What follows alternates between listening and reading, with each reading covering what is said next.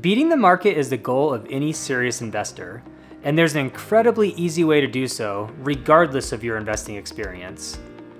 And the answer is not to turn to a professional. In fact, the majority of professionally managed portfolios charge you high fees while also falling short of the market's return. But oh, do I have some great news for you. There's a passively managed portfolio that has outperformed the market for each of the last 10 years that you can get set up in a breeze. In this video, I'm gonna show you exactly how you can destroy the S&P 500's returns while on autopilot and spend your time doing whatever it is that you love to do. But first, if you're new to the channel, welcome. My name's Jeff Teeples, and here we aim to grow your wealth with simple, time-tested solutions. And a quick note before we get into this, I am very passionate about this portfolio as it's exactly how I have grown my wealth over the years. But with that said, this isn't financial advice. Please always do your own research before making an investment of any kind. The portfolio consists of three funds, each of which have a unique role, and when you add them all together, they will outperform the S&P 500 on good and bad years. Okay, the modern three fund portfolio consists of a broad market ETF, and this is what I like to refer to as the cornerstone, a growth ETF, this is the roller coaster, and there's a dividend ETF, the stabilizer. Let's take a closer look at each of these three holdings. Holding one is VOO, and this is the Vanguard S&P 500 ETF. It's ticker VOO. It has 508 holdings now this is 500 of the largest companies in the United States. And the reason there's 508 holdings is some of the companies have multiple share classes, but it is 500 companies.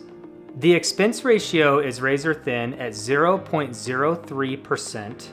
And you might hear this referred to as three basis points. So every 100 basis points is 1%.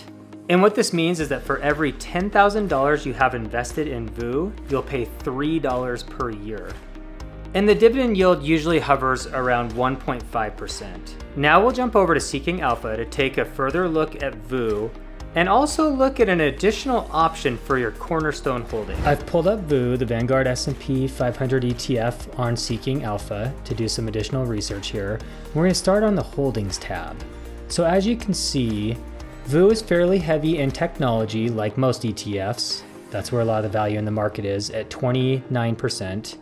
And then it goes healthcare, financials, consumer cyclical, communication, and industrials, anywhere from 13 to 8% each. And then we jump over a little less weight in consumer defensive, energy, utilities, real estate, and basic material. So it's fairly well diversified. It's a bit tech heavy, but that's just the nature of the beast because that's where a lot of the value is in the overall US stock market.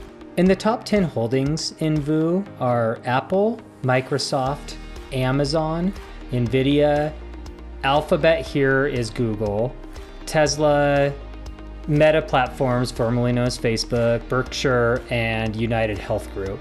And the top 10 holdings are only 30% of VOO, which is pretty low. This just shows that it's a well diversified ETF. Okay, we're gonna scroll back up here and let's just check out the dividends tab as well while we're out here. So on the dividend summary, VOO has about a 1.5% dividend you get $6.20 for every share you hold in the trailing 12 months. The five year growth rate of the dividend is 6.16%, which has outpaced inflation, which is 3.7 or so percent in that time frame. And we're to look at the last 10 years of dividend growth. And as you can see, it grows its dividends on a yearly basis. It did have a slight drop here from 20, 2019 to 2020, as you can see here. But other than that, it's stepped its way up gradually over time. The last aspect I like to take a look at is charting. And that's just to see the returns of VOO. And what I like to do is select metrics and add total return as well.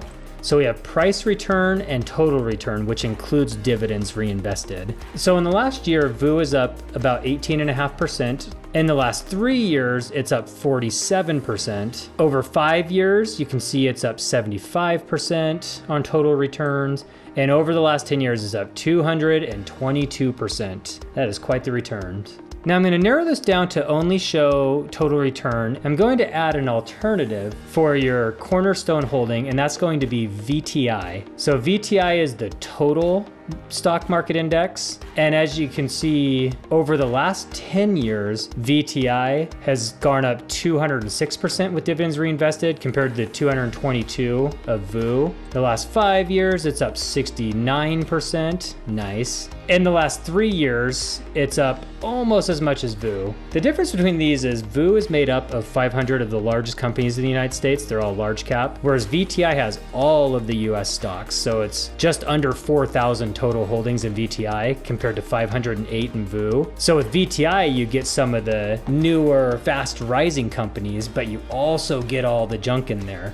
You get a little bit of everything. I think VOO is ironically a little better diversified, if not more diversified, and it gives you quality companies with long-standing results. All right, it's time to dive into holding number two, and this is that roller coaster growth ETF, VGT. So VGT is the Vanguard Information Technology ETF, ticker symbol VGT. There are 325 holdings in VGT, and the expense ratio is 0.10% or 10 basis points. And this means that for every $100,000 you have in VGT, you'll pay a $10 fee per year. And the dividend yield usually hovers around 0.7%. Let's jump over to Seeking Alpha to take a look at some additional information about VGT and an alternative option for your growth ETF, if that's the direction you choose to take. Okay, so here's VGT pulled up on Seeking Alpha, and we're going to start with the Holdings tab. So VGT is 99.4% technology, 325 holdings, and nearly all of them are related to technology. As you can see, Apple and Microsoft make up over 40% of VGT. And then you have other tech related stocks such as Nvidia, Broadcom, Adobe, Cisco, Salesforce, and so on and so forth. And the top 10 holdings make up 61% of the entire ETF. It's very top heavy. And so let's scroll back up and let's just check out the dividends tab. And you're probably thinking, what do you mean the dividends tab? We're on a growth ETF. But it does pay almost a 0.7% dividend. And one thing that's impressive about VGT is its five year dividend growth rate is actually 12%. So it's really growing its dividend payments a lot faster than inflation. Although it's a low yield and the annual payout is only $3 per share with each share costing 448 bucks, it still has been growing that dividend at a nice clip. And we're going to check out the dividend growth 10 year here and you can see back in 2013 you were looking at 94 cents and it's really stepped its game up to $2.91 in 2022. The dividend growth is real, even though that's not the purpose of this holding. And now here's where VGT will impress, and that's on its charting. I like to add in total returns to this chart so we have our price return only and then total returns assumes reinvested dividends. So its one year return is at 31%. Its year to date is actually 42%. That's wild. If you look over the last three years, VGT has returned 61%. In five years, it's at 144%. And at 10 years, it's a mind boggling 542%. And now, an alternative for VGT is QQQM. You've probably heard of Invesco QQQ. So we're actually going to pull up QQQ instead of QQQM.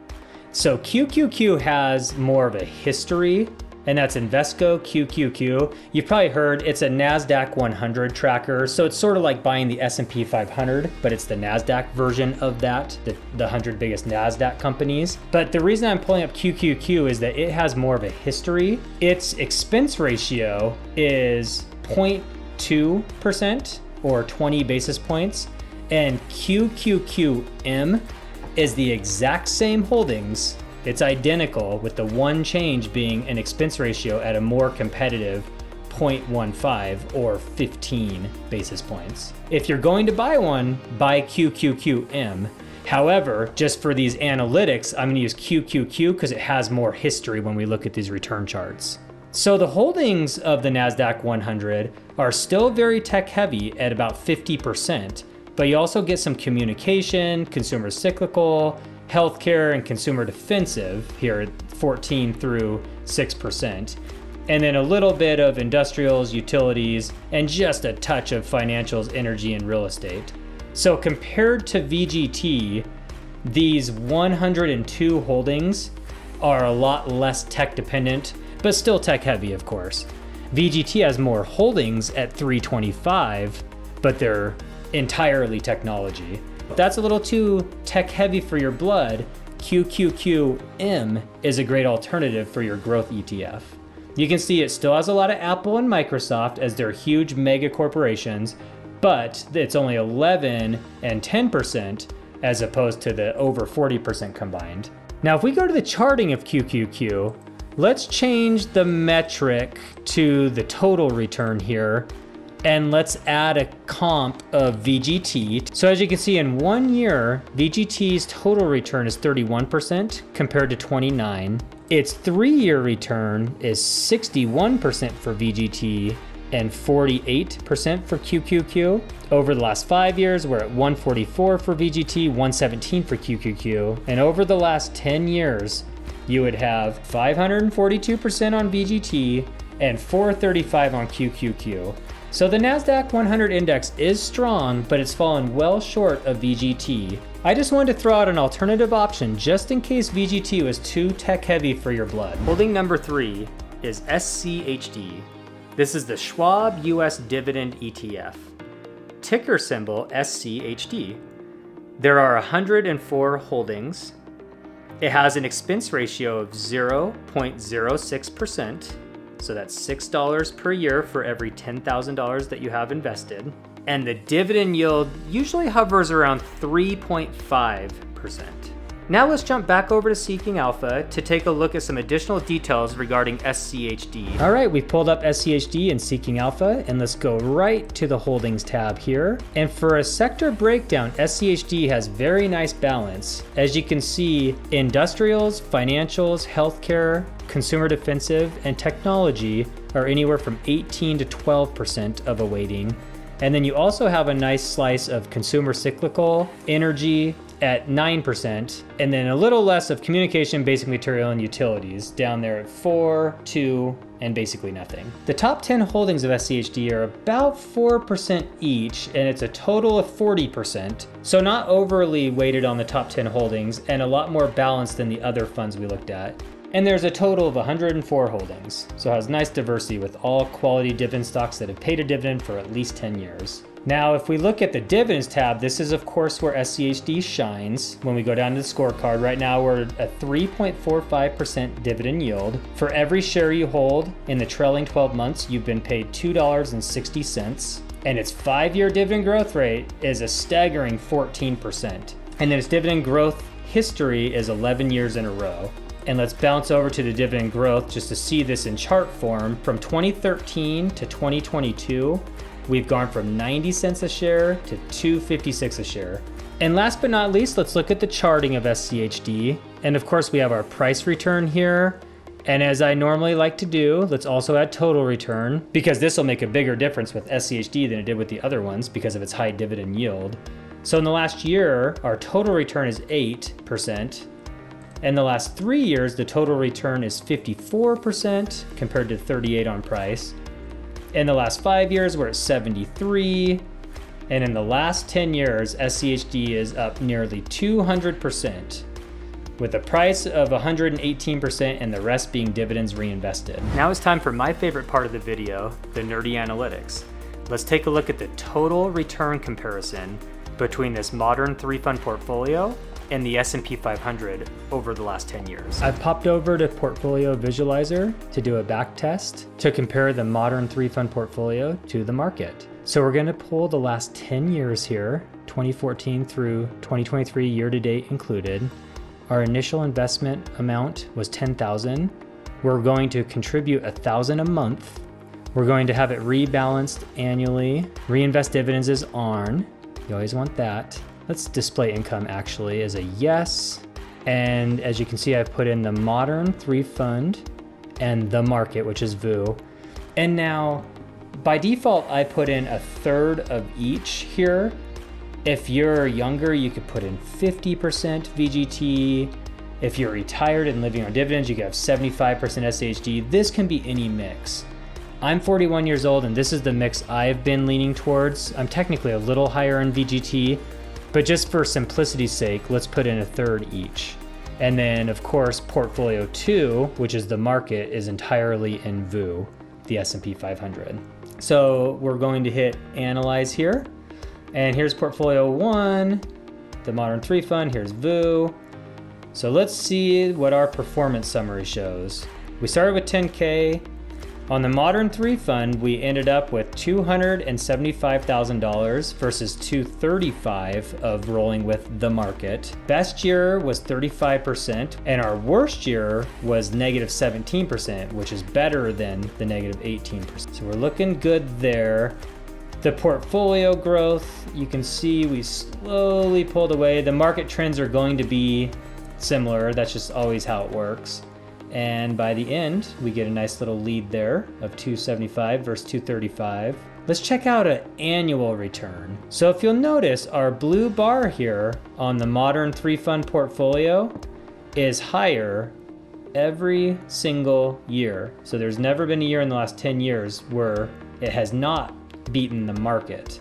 You can see on our one year, we're 21% up versus 19.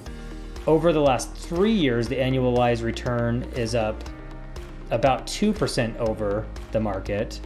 Over the last five years, it's about 3%. And over the full 10 years, we're up about 2.5% over the market. And another wonderful thing with having SCHD mixed in, which somewhat replaces the traditional bond portion of a portfolio, is within that total return, which all this is being reinvested. But if you wanted to take it out, you get better cash flow with the modern three fund portfolio versus the market. As you can see, as the years go by, you're getting more and more yearly cash flow from the modern three fund portfolio. As you can see, the three fund portfolio has performed favorably to the market over the last 10 years. And there are different options for each section. The cornerstone, the growth, and the dividend ETF section. If you have your own funds that you want to throw in instead, of course, that's perfectly fine. I would just recommend having a fund that's passively managed to take the emotions out of it. That will help you over the long haul. And also make sure that it has a low expense ratio. If you enjoyed this video, please do me a huge favor and hit that like button, subscribe if you haven't already, and let a friend know about the channel. It really helps get it out there, and I really do appreciate you. Have a wonderful rest of your day, and I will see you here next week. Peace.